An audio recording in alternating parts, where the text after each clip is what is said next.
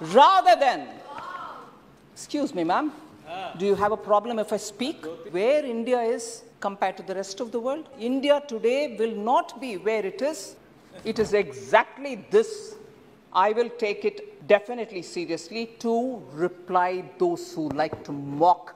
And if that is treated as dumpy, what should be the first one which comes? Oh, thank you. Otherwise, I wouldn't be. Al- oh, all right, in that house or this house. Dada, you're always very keen on coming up with things which are not so relevant for. Oh, dear, thank you, thank you. Please recall your glorious days when you were trying to talk to me about onions, na? Recall those days, because you always had that approach to women in the house. There is no question of us getting into either a stagflation or, like the US, they may say technical recession, whatever. Please, please. को तो अच्छा नहीं लगेगा, लेकिन मैं सदन में वैधान नहीं पैदा होने दूँगा। जवाब सुन करके ये क्या है? राजनीतिक भाषण दे रही हो? राजनीतिक भाषण सुनना ही पड़ेगा।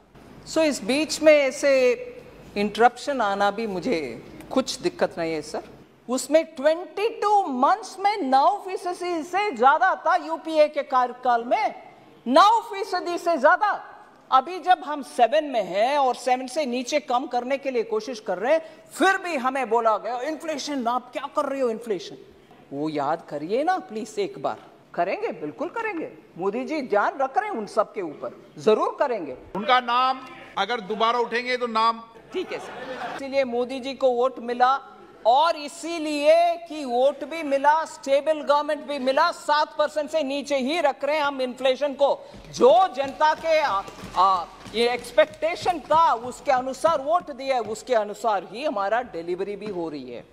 इससे ज़्यादा मैं इन्फ्लेशन के ऊपर और बोल सकती हूँ सर मगर समय भी हो रहा आगे बढ़ती हूँ। एक इकोनॉमिस्ट का नाम लेकर के बोले कि देखो इन्होंने ऐसे आपके खिलाफ बात की है। इनको आदत है, एक आध इकोनॉमिस्ट का ही नाम लेंगे, बाकी दुनिया में इकोनॉमिस्ट का नाम नहीं लेंगे। हाँ रघुराम राजन भी है, क्योंकि वो उन्होंने बोल दिया, मैंने सोचा एक बार, रघुराम राजन जी का बयान एक बार ध्यान दिलाएँगे। RBI has done a good job in increasing the reserves so steps क्या आपने उठाया प्राइसेस कम करने के लिए? एक एक करके मैं बोल रही मुझे दुख लग रहा है, बाहर जाकर के प्राइस राइस के ऊपर सरकार भाग रही है डिबेट नहीं कर रही है। कहने वाले कांग्रेस आज जवाब सुनने के लिए तैयार नहीं है बाहर वो भाग रहे आपको जाने चलिए सीपीआई के बारे में बात करो डब्ल्यूपीआई के बारे में बात करो। बांग्लादेश का आज आईएमएफ के सामने 4.5 बिलियन का लोन डिमांड कर रहे हैं क्योंकि उनका बैलेंस ऑफ़ पेमेंट प्रॉब्लम है।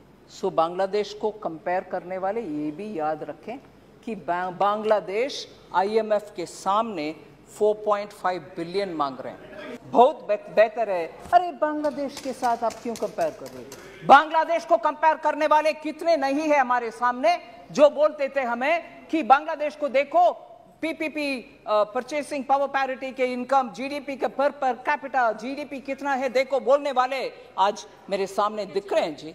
उनके लिए मैं जवाब दे रही हूँ।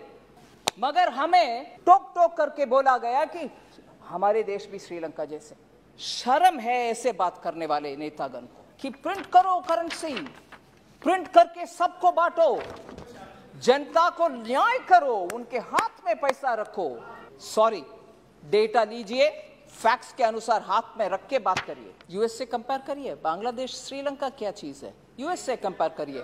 बोलने वाले को प्लीज़ ये गौर से सुने। पैंडमिक के समय चला गया। आपने ध्यान रखा नहीं है। नहीं वो भी सच नहीं है। यूएनडीपी के रिपोर्ट आया है सर जिसमें वो स्पष्ट बोल रहे हैं कि wild soaring food and energy prices can push up to 71 million people around the world into poverty the U N D P report set the chances of those in India particularly those who are earning 1.9 dollars per day, slipping into poverty due to this upturn would be zero. हमारे माननीय सदस्य खनिमोड़ी जी एक UP से एक लड़की ने प्रधानमंत्री जी को चिट्ठी लिखा पेंसिल का दर के ऊपर मैं first of all I want to say sir pencil के ऊपर कोई चेंज नहीं किया गया sir I am not allowed to talk I I don't want interruption rather than excuse me ma'am do you have a problem if I speak ये भी मेरा विनम्र रिक्वेस्ट ಹೆಚ್ಚಿನ ವಿಡಿಯೋಗಳಿಗೆ ಪ್ರತಿಧ್ವನಿ ಯೂಟ್ಯೂಬ್ ಚಾನೆಲ್ ಸಬ್ಸ್ಕ್ರೈಬ್ ಮಾಡಿ ಬೆಲ್ ಐಕಾನ್ ಕ್ಲಿಕ್ ಮಾಡಿ